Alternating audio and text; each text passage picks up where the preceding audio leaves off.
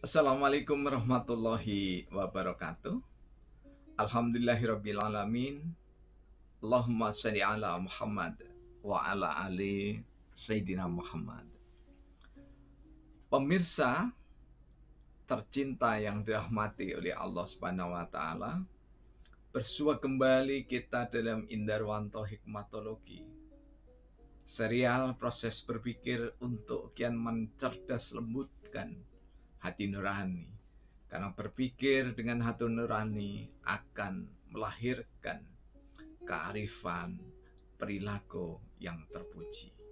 Pemirsa, pekan ini adalah pekan terakhir menyambut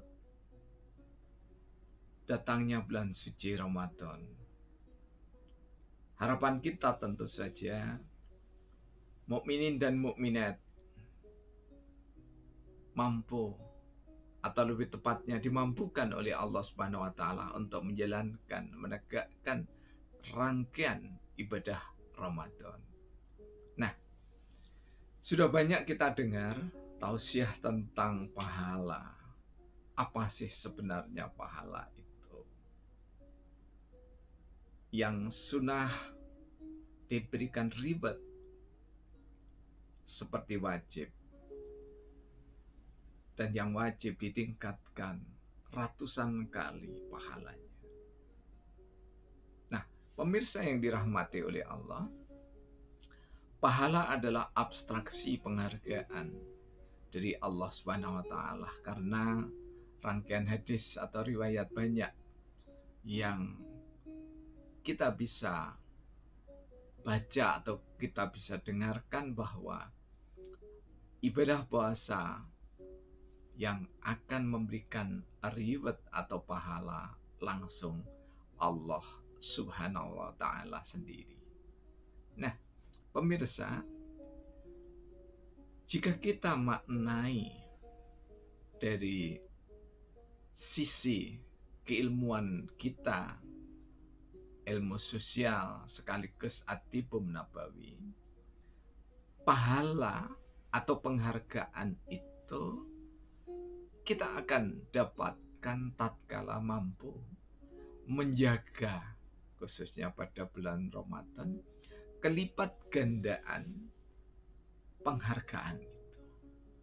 Jadi jika ada pahala yang tak terhitung karena Allah sendiri yang akan menyampaikannya, maka mestinya keikhlasan kita di dalam peribadatan juga nyaris tak terhitung dan bahkan memang tidak terhitung. Mengapa demikian?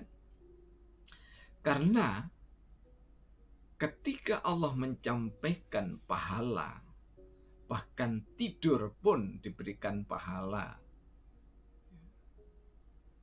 maka sungguh sangat beruntung hamba-hamba Allah yang mampu betul-betul saum betul-betul mempuasakan batinnya, betul-betul mempuasakan panca inderanya, dan betul-betul mempuasakan seluruh sahwat insanianya. Kecuali telah dihalalkan oleh Allah Subhanahu wa taala sesuai dengan teladan Rasulullah Muhammad sallallahu alaihi wasallam. Ibadah puasa itu menduduki tingkat kesabaran separuh dari seluruh kesabaran. Disebut oleh Rasulullah nisfu sobri. Jadi asyamu nisfu sobri. Puasa itu adalah separuh dari kesabaran. Apa separuh berikutnya?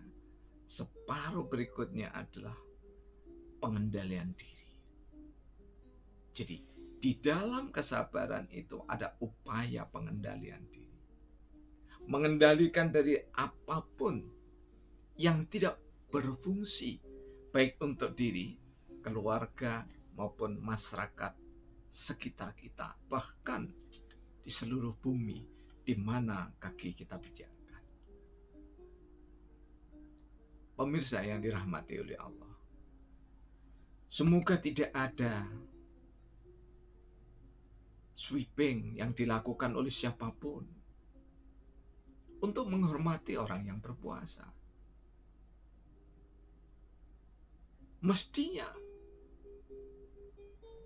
kalau orang-orang yang berpuasa sadar, andai saja yang melakukan puasa Daud alaihissalam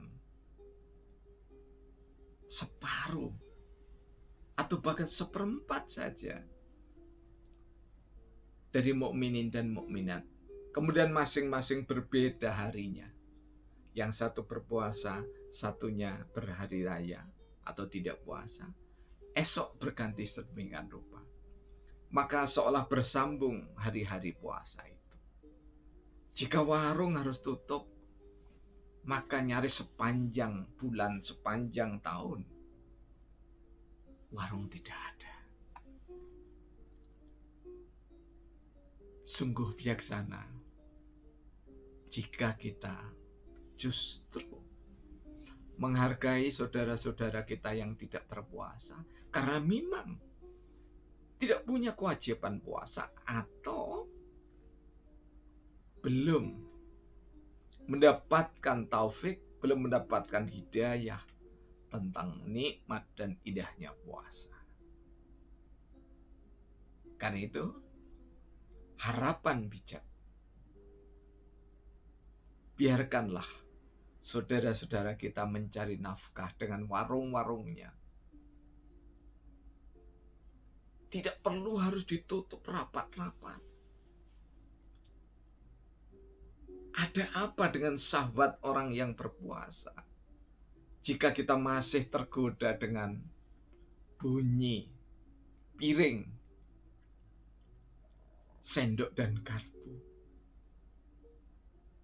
Kalau hati ini tulus, dan puasa Ramadan 14 1441 Hijriah yang lalu dipelihara dengan puasa-puasa sunnah, maka insya Allah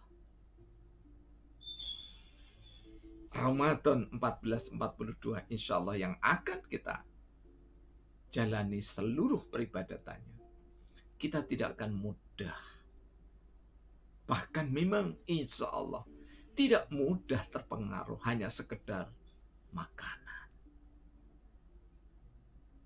minuman. Oleh sebab itu, ciri secara sosial atau kesalehan sosial kita mendapatkan ampunan malam yang seribu bulan yang dimuliakan oleh Allah tahun kemarin.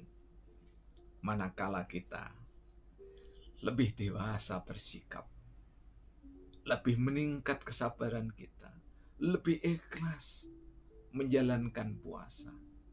Tidak perlu kita iri, tidak perlu kita dengki pada saudara-saudara kita yang tidak puasa meskipun muslim.